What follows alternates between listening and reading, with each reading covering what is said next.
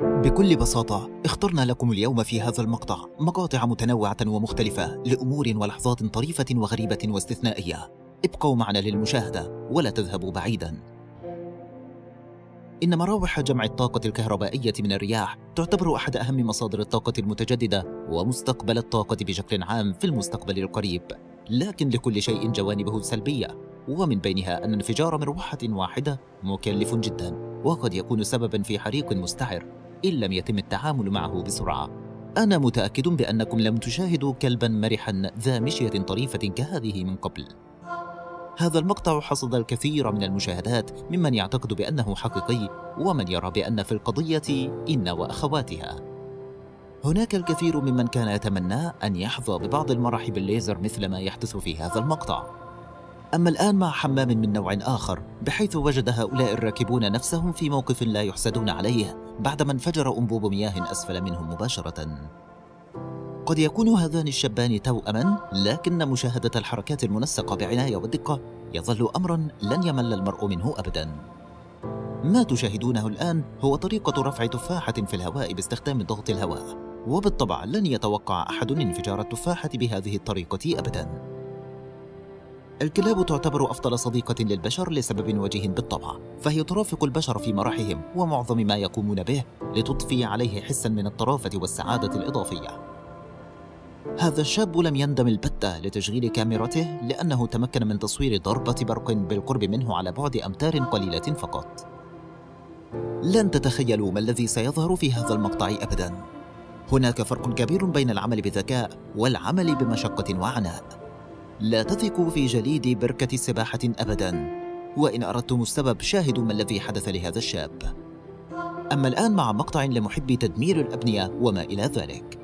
عندما يكون المرء محبا للطبخ والعمل اليدوي في آن واحد فليس غريبا أن تكون النتيجة مروحة كهذه. بكل صراحة القفزة التي قام بها هذا الكلب نحو الماء ستظل واحدة من أفضل ما ستشاهدون يا أصدقاء.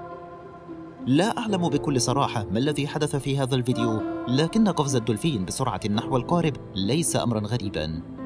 أعتقد بأن هذا الشاب بار بوالديه وإلا كان سيستيقظ كما لو أنه استيقظ في قعر المحيط الأطلسي. مشاهدة القفزات التي يقوم بها هذا الرجل أمر ممتع في حد ذاته وتظل اللحظة التي يضع فيها رأسه وسط الماء أفضل ما في المقطع كله. البعض لا يكتفي بسيارة باهظة الثمن للتباهي بل يستخدمها لصنع كوب الشاي الصباحي. بالنسبة لمن لا يعلم كيف يمكن القيام بهذه الخدعة فكل ما يحتاج الأمر هو ماء ساخن في جو قارس. أما الآن مع حركات منسقة لفريق جيمناستيك محترف. أعتقد بأن هذا الديك سيصبح عشاء الليلة قبل خروجه إلى الأرض الإسمنتية. ما تشاهدونه الآن قد يبدو لكم كإعصار لكنه الجو المعتاد في أماكن عديدة حول العالم مثل تكساس حيث تم تصوير المقطع. بينما يحلم البعض بركوب لوح التزلج على الماء يقوم هذا الرجل بركوب اللوح رفقة كلبه كما لو أنه لا يقوم بأي شيء. ومرة أخرى مع شاب آخر رفقة كلبه على لوح ركوب الأمواج. أعتقد بأن بعضكم يعلم الخدعة وراء القيام بهذه الحيلة. إن كان الجواب أجل فشاركونا في التعليقات. هذا القندس اخترع طريقته الخاصة لإمضاء الوقت في الحجز والترفيه عن نفسه وعن الجميع في آن واحد. تنين الكومودو البارع في السباحة يجعل رؤيته من بعيد كما ولو أنه تنين حقيقي أو وحش ماء كبير. قبل الاستمتاع بنزول الثلوج من على السقف يجب التأكد من وضع مسافة الأمان في الحسبان أو لا. على ما يبدو مل هذا النسر من الطيران فقرر أن يأخذ جولة مجانية على متن أول سيارة سيجدها أمامه. لا أعلم إن كان ما يقوم به هذا المظلي منطقيا لكن وبغض النظر عمن يخاف المرتفعات فهناك الكثيرون ممن يرغبون بأن يحظوا بتجربة مماثلة. يمتلك الأخطبوط مرونة لا يمكن تخيلها بحيث يفاجئ الجميع بالأمور التي يستطيع الولوج لها. أما الآن مع عرض للألعاب النارية ولفك الغموض عنكم هكذا يتم الاحتفال وإطلاق الألعاب النارية في اليابان. لن تصدقوني إذا قلت لكم بأن هذه هي أول مظلة ستشاهدونها في حياتكم. فلنأمل بأن هذا الكلب لا يعمل في مكان المرآة الخلفية للسيارة. نجا سائق هذه الشاحنة بأعجوبة ولنأمل بأنه قد تمكن من إنقاذ شاحنته أيضاً.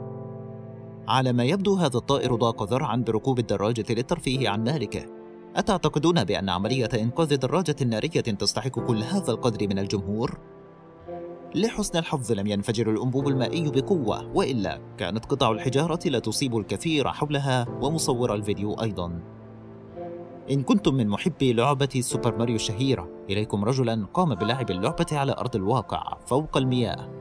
وفيما يلي مع أحد أفضل الطرق للاستدارة بالسيارة في منعرج حاد باحترافية.